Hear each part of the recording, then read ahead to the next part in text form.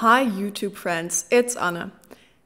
Today we are going to talk about ESTJs, what I as an INFJ think and feel and have experienced with and about ESTJs. And uh, this is an interesting type for me because there's definitely a lot going on in the dynamic between me and ESTJs. Uh, yeah, I've had a lot of experiences with them and they play a significant part in my life overall. And that being in a, both a positive and negative way. Um, if there is one type that is the most supportive, like that has shown the most support of me, it is the ESTJ. They are my number one supporter in life. Um, for example, I have a grandfather who has a very um, specific character, a very strong character, and I would say he is generally not a person that is liked by a lot of people. He has really strong criticism about everybody and that kind of stuff. Um, but when it comes to me, like whatever I do, whatever mess I make of my life, my grandfather always finds a way to um, like make a good story of it. Like it's kind of like like I am his favorite grandchild, and um, he, he just supports whatever I do, and he puts it into this narrative of um, yeah, like look at her, how much progress she made in her life, how much she uh, has grown, and he's always thinking that. Um, yeah, I will have a very good future. Um,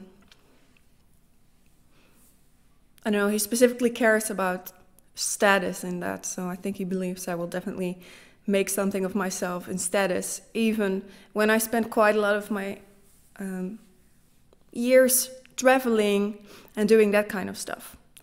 Um, so somehow magically he always thinks I am doing the right thing.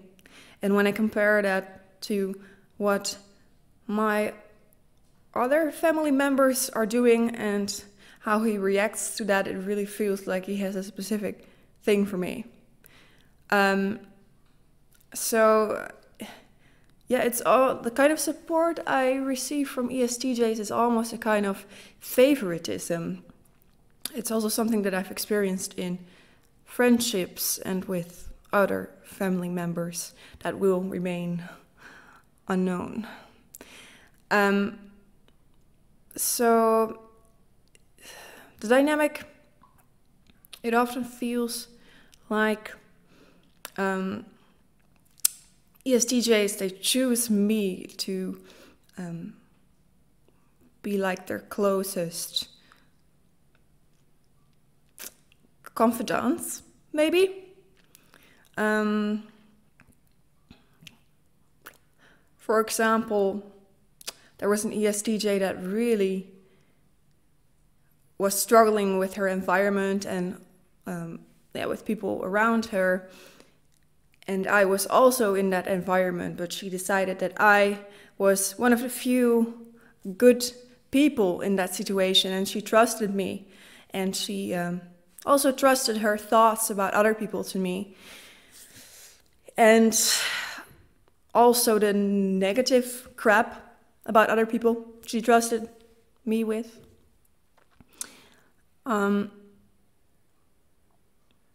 so yeah, ESTJs really seem to trust me. That's also another thing. Altogether, ESTJs seem to be really big fans of me.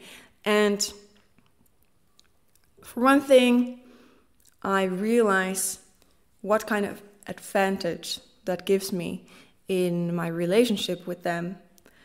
Um, because, for example, this may be a real life example. If I went into a job interview um, and the person interviewing me is an ESTJ, that will probably um, mean that there are really good results for me in that interview because ESTJs, they just instantly like me. I don't know. I don't know what that is. Um, so even when I feel like I'm not doing that well or anything, or you know, I'm pretty insecure and stuff, ESTJs they're like, yeah, you are you are so cool, even even with your insecurity. Um, it's like they can really see the strength in me or something. So that's the really really positive side of ESTJs. Um, also, a very positive aspect about their support is that they really lift me up and motivate me to do things. Like, for example, um, if I were to start a YouTube channel, which obviously I already did, but imagine that I was in that situation that I was considering starting a YouTube channel, but I was thinking that probably nobody would like it and um, it wouldn't get any views and like I'm not good enough at talking anyway. There could be an ESTJ. Um, if I if I start talking to them about this idea, they would really be like, "You should really do that. I think you would be amazing at that." Um, and like whatever. Also including your insecurities, whatever, because people like to see that vulnerability. Like that would be a hypothetical situation because that's how supportive ESTJs generally are of me. Um, ESTJs and INFJs, like that's a combination in romantic relationship that's in general considered to be a good one. But I never could be with an ESTJ romantically. And that has something to do with what I am going to talk about next, which is that I feel ESTJs are really almost always kind of selfish. They're really self centered. Um, they really like to talk about themselves and they have very narrow perspectives uh, perspective of how they think things should be. They also, um, yeah, they're not so good at doing self reflection, the ones that I've met. Um, but there's a very particular area in which their selfishness manifests, which is also an explanation of how it happens. Because ESTJs are really bad at understanding and considering other people's feelings. They are very much in touch with what they feel themselves, um, but they really just have a blind spot, basically, for how their words, how their actions are affecting other people. So they may definitely show compassion if you talk with them about something that is bothering you um, if you show like emotion to them, they will often be very uh, be a very good friend and comfort you, etc. But when it comes to their own actions and their own words, they can be really um, inconsiderate, like really, really bad. Um, and they can hurt a lot of people and yeah, never, never even know about it.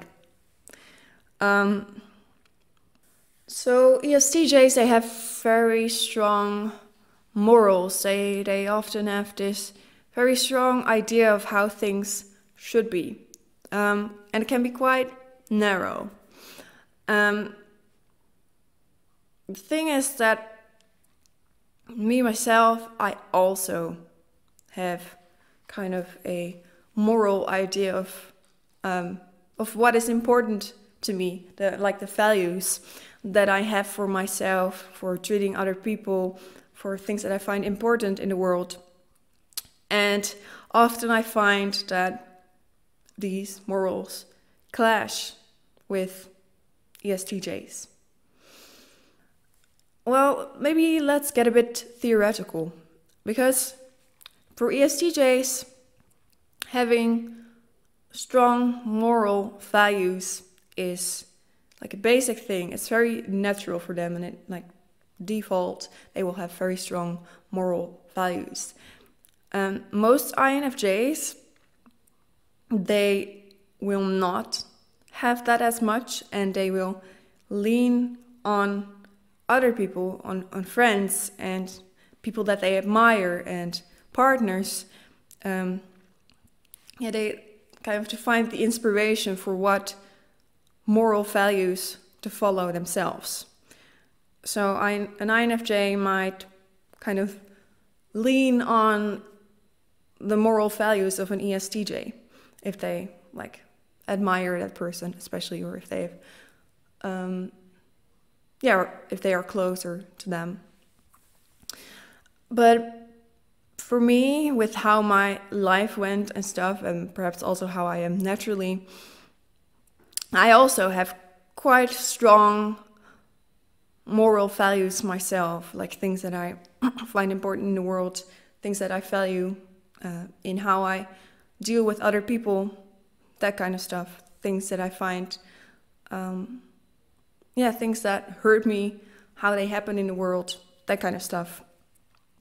And so, um, for one thing, like the behavior of ESTJs may not match up with my personal moral values because I find it very important to consider other people and like self-reflect and be aware of um, yeah what your behavior is doing to other people. And ESTJs are very bad at that, so that's clashing. But then secondary um, or second thing is that the morals that I have, the moral values that I have, and the moral values that the ESTJ have has um, may not be matching up in that. So I feel like, just to summarize, I feel like my particular being, my history, my upbringing made it so that I clash too much. Um, yeah, in some aspects with ESTJs to get really, really close to them. Um, because I'm just, I'm bothered too much by some of their selfish behaviors. Yes, so um, apart from all of this, I have noticed that there have been a few people on my path that I identified as probably ESTJ that really, really triggered me. Um, and I don't know why that is exactly, but like the most triggering people in my life, particularly one person, um, yeah, they were ESTJ. And perhaps that had to do with their lack of self reflection so wait, let me say first that when I mean I was triggered, it was it was not like oh my god they're so annoying or something. It was really that they did something um, very bad to me, and I and I got a kind of trauma from that situation. Um, also considering that that I was still a child when that happened. Um, so back to explaining why I think ESTJ could make sense for that is because they are so bad at reflecting on their own actions because they're so focused on their personal experiences and feelings. And secondly, they're also generally quite narrow minded, the ESTJs that I've met. So that kind of makes for a good combination um, to potentially result in some bad things. Um, but whatever, I don't know. Maybe it's not even related to type. The fact that um, I've had su such bad experience with this type or this person. I don't know. Um, so, yeah, that's what I wanted to say about ESTJs. And again, I really appreciate their support and also like, wow, you you were so such a fan of me or something. And yeah, I can definitely use that and I'm thankful for that. But also, you guys are selfish, at least the ones that I've known. So I don't know. If you are an ESTJ, I would appreciate if you would work on that. but um, yeah, thank you for watching this video. Um, like and subscribe if you feel like it. Definitely also leave a comment if you feel like it, uh, because I love reading comments because it makes me feel so much closer to my viewers and it's yeah feels much, much more personal and I and I get a feeling for who I'm talking to actually. So um, see you next time. Bye.